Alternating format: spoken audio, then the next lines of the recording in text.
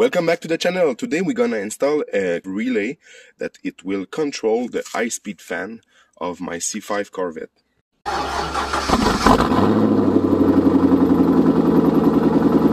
I'm in a lot of uh, forums uh, on uh, Facebook, uh, Corvette C5 forum.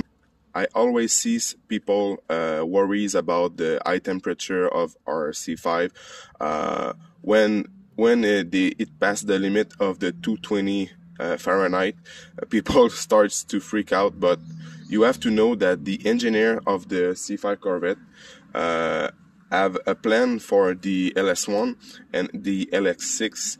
Uh, the high speed fan will turn only at uh, I think it's 230 or, or 235 uh, Fahrenheit. So I buy a kit they call Cool It H2 there's a relay that I'm gonna replace with this wire relay. I'm gonna send the wire into the cabin. So with the switch, I'm gonna be able to turn on or off the high speed fan. So you have two options. You have, like mine, a wire option. Trust me, don't be intimidated by this wire. Uh, it's a very, very, very simple installation and you got the wireless uh, option with a remote control but I don't want to have a remote hanging on the inside of the Corvette and I don't know where I'm gonna stick it. I prefer hard wire like this and it's a very very simple installation. I'm gonna show you all in details what I done with my system. So first you want to determine it's if it's a H3 or H2 you have to go inside the hood remove this fuse cap and you want to go to the relay 43 uh, this one if the notch is the, is on this side you know that it's a H and if this notch is on the other side right there you know it's a H3 so in my case my Corvette it's a 97 and I know that it's a H2 so first I'm gonna remove this relay.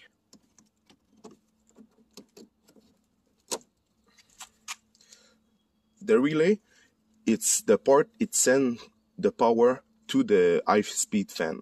Even if you install the relay that I installed with the switch, the computer is gonna be able to turn on automatically the high fan speed if it reach the 230. So in this case, we're gonna be able to have the computer turn on the fan and with the switch inside the cabin, you're gonna be able to turn it when you want it. So now um, just before installing the relay, you want to make a, a, quick test to know if it works well. So this is the new relay, like you see, it's a H2. I'm just gonna insert it like this, and after that, you got the blue wire, the blue and the uh, this roll of wire. You got just one connection, so you're gonna plug it into the blue wire. Basically, the blue wire, what it does, it just send the power to the the relay to tell okay turn on the fan. So this blue this blue wire is just what determines is the if the the relay got to be on or off. Okay after that you got a white the white wire is gonna be um, the wire to control a light. So you're gonna have this little light with the kit so it's just simply plugged like that you're not we're not gonna plug it right now. We we just want to make a test. But this why this white wire gonna be for the the témoin light to tell you if inside of the cabin the fan is on or off. So you're gonna be able to know it. But back to our initial test. So the relay is plugged i plug the blue wire and after that you're gonna have the black wire. The black wire is black for one reason. It's a ground and you don't want to put the red wire of the positive on this black ground. You always want to keep it ground. Those wire doesn't control the positive side but the, the negative side of the the relay. So you don't want to put 12 volt there. You just want to put the ground. So what i'm gonna do i'm gonna start the car and i'm gonna touch the negative terminal of my battery and now I'm gonna be able to turn on and off the the switch to control the fan so we're gonna know if it works well for us I'm gonna touch the ground with the black wire of the switch I don't know if you hear, hear it, but I hear the fan kicks. So now I switch the, the, the, I turn off the switch and I hear the fan close. So again, it start again. So we know that the system works. I let the the relay there. I'm gonna cut this the wrap.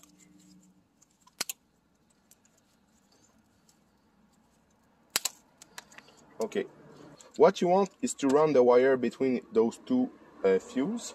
So now I'm just gonna make a little notch for the wire. Can came off came out of the box. And now we are ready to put back the fuse box. Like this. Be advised, you don't want this black wire attached to the relay to touch any positive okay? So keep this wire away from any source of positive like the battery right there. So now I'm gonna send the wire of the relay inside of the cabin to do that we are we're gonna remove the battery and remove the terminal of the battery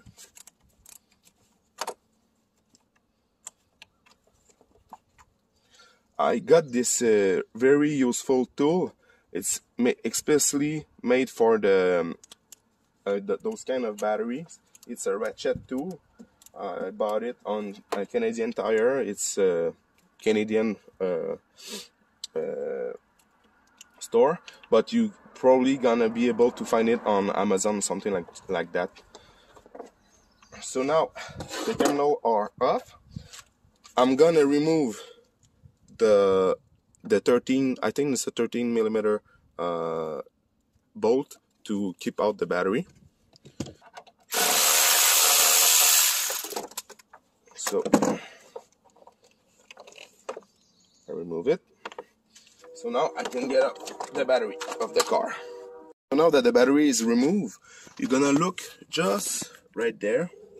You're gonna see this this red wire with this uh, rubber grommet this rubber grommet connects inside of the um, the cabin there. So now you go to the passenger footwell and open the trap of the fuse like this and you're gonna remove the panel we got two plastic pins one there and one there you're gonna pull on that to remove this panel You can remove the light if you want to get more space. You're gonna see this black, big black wire. You're gonna have to remove or pull on this kind of rubber panel right there. So once you remove this rubber panel, you're gonna see this red wire. We're gonna drill a hole just upper of this big rubber uh, seal. So we're gonna be at the left of the wire, the red wire, and up to the, this big wire bunch. So we're gonna drill a hole with 516 drill. So the kit come with a grommet.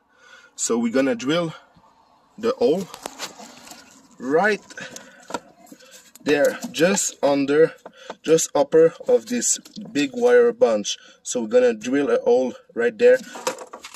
There's my drill. It's just a fiber glass so it's very easy to drill. And now you're gonna pass the wire through the hole you. You done? And pass the grommet like this. So first I'm gonna pass the wire through the hole inside of the cabin. Okay it's I, it's harder with the wire inside of the grommet so I'm gonna try to install the grommet first. There's the black wire from the relay that we passed to the through the firewall and now it's the wire they give us with the kit. So first you got a fuse box like this and after that you're gonna have the ground okay? So now for the ground there's a screw right there a plastic screw they said in the instruction but in my case I didn't have. So I'm gonna take the small screw they give with the kit and tight the wire through the body of the PCM.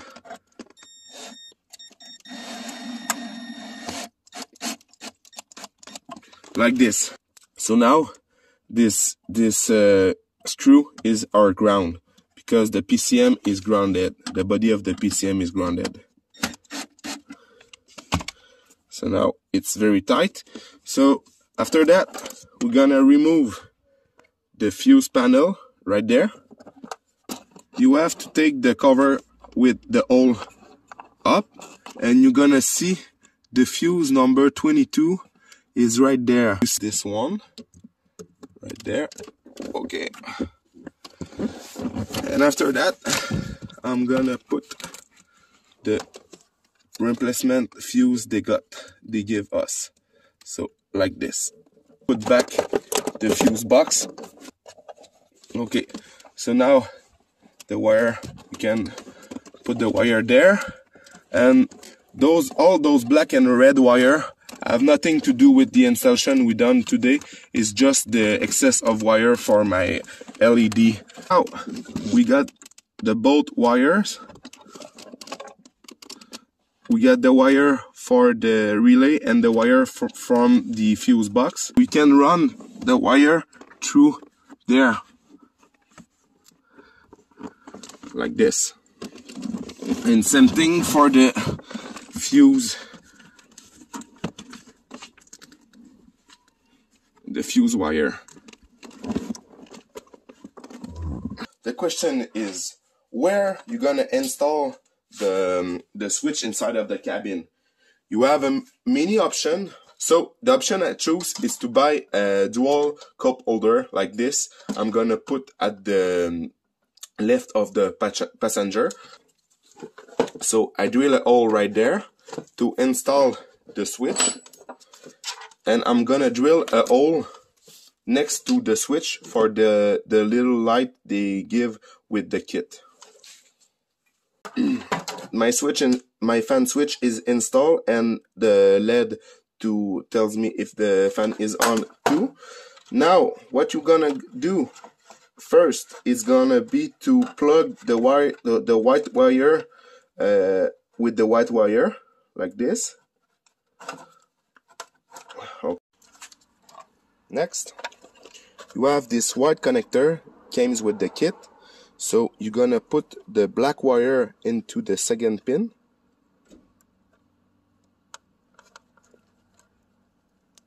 Like this. So you, you see the, the black pin is on this side. And after you're gonna do the, the same thing with the third, uh, sorry. Yes, the third. So now you're gonna take the red wire to the third slot. Just have to insert. And as you see, you got the two pins is gonna be connect with this black fuse you got. I'm back with my cup holders with all the switch. I'm gonna first collect my LED setup but th those two wires have nothing to do with the installation of today. So what left? It's the plus the white plastic connector from the fuse box. It feeds the power to the lights to tell us that the fan is on. Uh, okay so it's installed like this. And now the only wire it left is the blue wire from the switch and the black wire from the relay inside of the the fuse box inside of the wood. Okay so now everything is plugged. Just have to insert like this and you're gonna have the switch and the little light like this to tells you that the um, the fan is on or off. I have many option where you can install the setup of the switch, but right there the the wire is uh, long enough, and you can also install the switch there, but you have to remove the console. And uh, they suggest to install the switch uh, at the top of in this place at the top of the trunk release. But in the in this case I, I really like this option because I didn't have to drill hole inside the factory plastic. So now the moment of truth. I'm gonna start the car.